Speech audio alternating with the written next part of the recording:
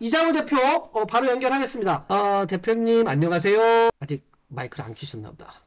안녕하세요. 안녕하세요.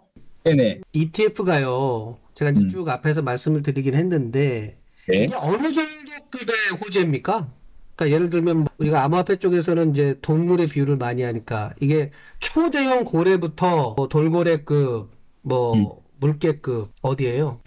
그런 표현 많이 쓰지 않았어요? 제 game changer란 표현을 많이 썼는데 어, game changer급의 호재라고 비유할 수 있을 것 같아요. 이게 그 약간 신분이 바뀌었다라는 느낌인데요. 비유를 굳이 하자면 또 제도권의 자산으로 우리가 비트코인을 예전에는 이제 아, 처음 나왔을 때는 P2P로 거래를 했잖아요. 개인 대 개인으로.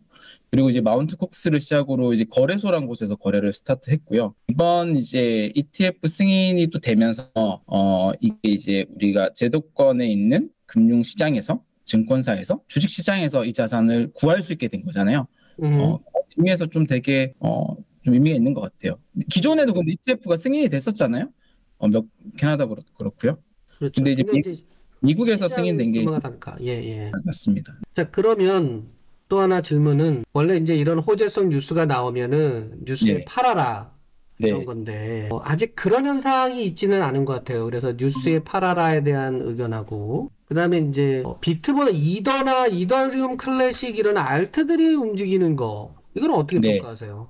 이더 음, 갈아탈까요? 그 우선은 단기적인 가격의 면이잖아요. 오늘 아침 보니까 그런 거 되게 많더라고요. 생각보다 안 오른다. 어, 댓글도 되게 많이 봤거든요. 근데 뭐 아시다시피 단기적인 가격은 기대감이잖아요. 그래서 사실 비트코인은 이 ETF 승인에 대한 기대감은 이미 작년에 150%가 반영돼서 올랐잖아요. 올랐던 것 같고요. 막상 승인이 되니까 그 기대감이 사실 이제 없어진 거고요. 다음 기대감을 줄 수 있는 이제 이더리움 이나 이런 자산들이 이제 오른 형태인 거죠. 그래서 뭐 그런 면에서 지금 단기적인 가격은 해석하는 수밖에 없을 것 같아요. 어, 그러면은 지금 비트를 팔고 뭐 이들을 사야 되나 뭐 이런 고민이 있을 수 있잖아요. 음. 근데 이게 그 아주 짧은 ETF라고 하는 요 이벤트도 있지만 우리가 이 좀 크게 봤을 때는 약간 상승장으로 진입하는 그 초입이기도 하거든요. 그런 면에서 과거의 상승장들을 보면 조심해야 되는 게 우리가 그 상승장대의 투자는 야구로 굳이 비유를 하면요. 배트를 되게 짧게 잡고 이렇게 치면 안되 거든요. 길게 잡아야 되거든요. 홈런을 그- 들어라. 예, 그 예를 들어서 이런 거, 이런 거예요. 2017년도 같은 경우에 정말 단기적으로 40% 정도 하락한 횟수가 7번씩이나 되거든요. 음. 근데 2017년 한 해 동안 20배가 올랐고, 우리가 요 전 2021년도 같은 경우도 한 30% 정도 단기적으로 하락했던 시기가 한 그것도 다섯 번 정도 돼요. 1년 중에. 어, 그래도 한 4개월 만에 한 세너 배 정도 올랐던 시장이잖아요. 그래서 좀 음. 상승장 때는 너무 짧은 호흡으로 가져가면 진짜 가격이 크게 한번 바뀌는 그 흐름의 타이밍을 놓칠 가능성이 있기 때문에 너무 자, 이렇게 매도할 필요 대표님 없습니다. 말씀 믿고 조금 조정이 되더라도 갖고 가요? 그럼 어. 막 매- 뭐 홈런 뭐 맨루타 나오는 거예요? 어, 예, 그렇죠. 그렇죠. 상승장 때는 그렇게. 집 팔아요? 자, 그건 투자해야 돼요. 어떻게? 그그 얘기를 좀 해줘요.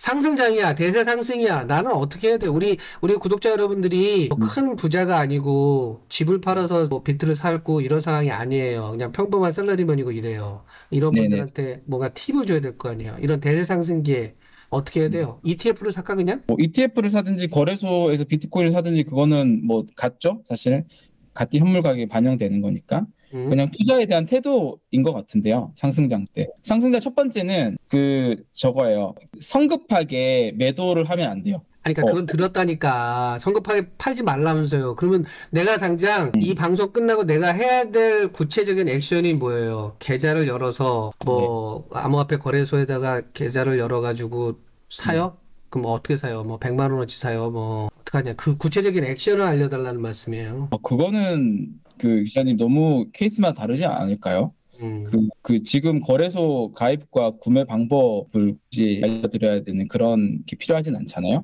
그러니까 네. 이런 거지. 예를 들면 내가 월급을 뭐 한, 어, 300만 원 예를 들면 받는 사람이에요. 음, 그럼. 그거의 자산 배분을 어떻게 해야 되냐라고 하는 측면에서 보면 비트를 그러면 뭐 조금 사자. 예를 들면 뭐 10%를 띄어서 산다든지 뭐 이런 음. 음. 가이드가 있어야 될 것 같지 않냐 해서 말씀드립니다. 그 그런 좀 더 디테일한 가이드로 가면 일단 고객이 두 부류로 나눠요, 기자님. 음, 매월 100만 원씩 생기는 고객이 있을 것이고요. 매월 네. 월급을 받기 때문에 한 번에 목돈이 1억이 있는 사람이 있을 수 음. 있잖아요. 이두 사람의 이제 투자 방법은 달라야 되잖아요. 달라 그래서 매월 일정 금액이 생기시는 분은 당연히 매월 일정 금액을 적립식으로 비트코인 사는 게 가장 좋습니다.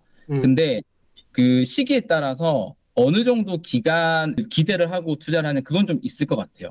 음, 지금 통장의 초입 같은 경우는 보통 최소 1년에서 2년, 1년 반 정도의 기간을 보고 적립 투자를 하면 수익률이 뭐 두 배 정도 기대할 수 있는 수익률이 나요.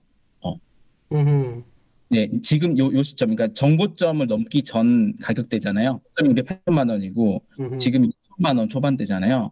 이 시기에 시작을 하게 되면 그 정도를 기대할 수 있습니다. 어. 좋습니다. 음, 자, 지금 쓸데없는 얘기 하지 말고 주제와 관련된 얘기를 하라고 막 어, 네. 문제가 올라오니까 그러면 이 대표님이 보시기에 비트코인 이 ETF 쪽으로 자금이 얼마 정도 올라올 것, 어, 유입될 것 같다. 그리고 비트는 그 아까 말씀하신 대로 한 1년 정도 놓고 보면 어느 정도에 가 있을 것 같다. 요, 거 한번 말씀 주십시오.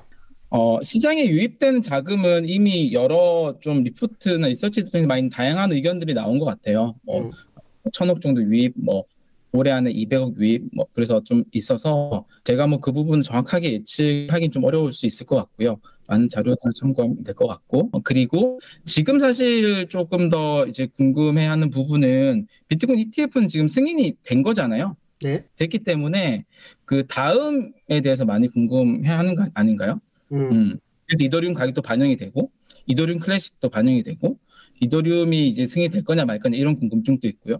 그런 부분에 대해서 좀더 얘기를 하면 좋을 것 같긴 한데요. 어떻게 생각하세요, 이 대표님께서는? 사실 오늘 결과로 보면 이더리움이 많이 올랐잖아요. 그리고 그 겐슬러, 게리 겐슬러의 성명문을 보면 사실 이더리움과 다른 알트코인, 비트코인과 다른 알트코인에 대한 선을 명확히 그은 게 있어요. 그래서 그 성명문만을 보면 오히려 이더리움에 대한 승인이 더 부정적인 면을 볼 수가 있긴 하거든요.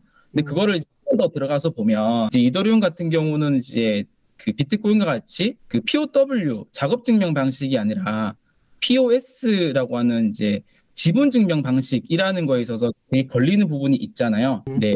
그래서 ETF로 자본들이 모이게 되면 정말 그 네트워크 자체를 좌지우지할 수 있는 큰 리스크로 볼 수 있는 거죠. 그래서 POS 프로젝트에 대한 ETF 승인이 과연 이루어질 것인가라고 하는 시장의 의구심이 되게 많거든요. 그래서 그거에 대해 승인이 안 될 거다라고 하는 의견 되게 많아요. 그래서 어느 정도 공감이 좀 되는 부분이 있고요. 네. 그렇다 보니까 어, 느 정도 탈중앙화되어 있는 프로젝트 중에 POW 기반의 프로젝트가 어, 반사익들을 많이 보지 않나라는 면이 있는 것 같아요. 오, 이제- 좀 좁혀지네요. 어, 그럼 POW 기반의 코인이어야 된다. 왜냐면은 그 POS가 ETF가 되면 안 되는 이유가 명확히 논리들이 있거든요. 그리고 탈중앙화가 안 이루어진 코인들이 또 되면 안 되는 이유들이 있어요. 명확하잖아요.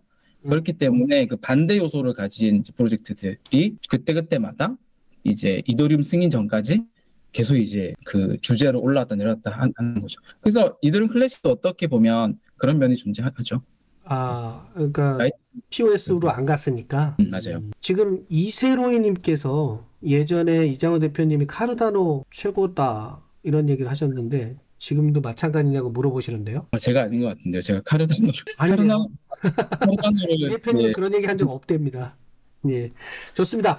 자, 그럼 이 대표님 또 보내드려야 되니까, 자, 마지막으로 올해에 투자를 하는 데 있어서 키워드로 네. 정리를 해보면 나는 이거, 이거, 이거, 세 개만, 이거를 꼭 올해 기억하고 투자하자. 음, 음, 음, 음. 아, 세 개요? 저는 네. 사실 하나밖에 생각 안 하나, 했는데요. 그럼 하나도 괜찮아요. 네. 그냥 우리 간단히 보면 2017년도는 ICO였고, 2020년도는 디파이였고, 2021년도는 NFT 웹3 이런 키워드들이 있었잖아요. 사실 올해는 2024년도는 비트코인입니다. 오늘 주제이기도 한.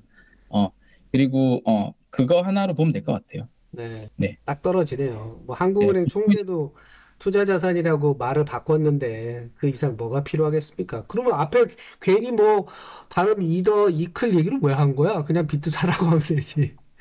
하여튼 뭐 그럼에도 불구하고 어, 생각을 해볼 수 있는 거니까 말씀을 네. 드렸습니다. 근데 아까 질문한 거 답을 안 주신 게 있다. 그러면 그래가지고 이 대표님은 올해 말에 비트코인 가격을 얼마로 예상하세요? 지금은 4만 5천, 6천 이런데. 저는 이제 그 뭐 저 저를 여쭤보는 거니까 저는 그냥 이게 올해로 단정해서 예측은 사실은 못 하겠고요. 그렇게 늘 네. 이렇게 얘기하고 이번 상승장을 이제 2024년, 2025년 요 한 덩어리로 계속 보고 있거든요.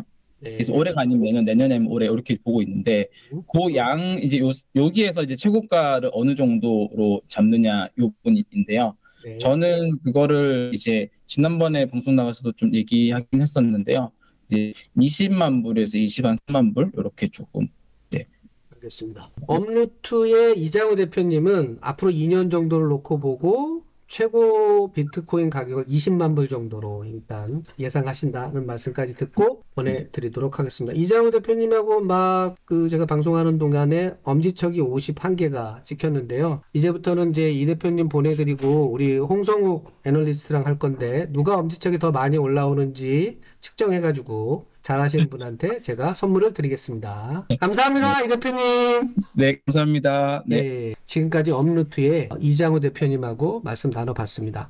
원래 이 대표님이 하고 계신 사업 자체가 약간 분할 매수하고 뭐 이런 걸 하고 계시거든요. 근데 이제 그 얘기를 좀 쑥스러워서 못 하시네. 내가 앞부분에 그 얘기를 좀 말씀해달라고 그랬던 거였는데 다음 기회가 되면 업루트에서 어떤 식으로 비트코인 투자를 이렇게 체계적으로 하는지 한번 따로 말씀을 드리겠습니다. 자, 조금만 저희 저- 자리 정돈하는 시간 갖고 어, 예고해드린 대로 홍성욱 NH투자증권 애널리스트를 모시고 어, 조금 더 깊은 얘기를 해보겠습니다. 어디 멀리 가지 마십시오. 어, 좋아요가 100개가 찍히는지 100개가 안 되는지를 보고 이제 두 분을 평가를 해야겠습니다.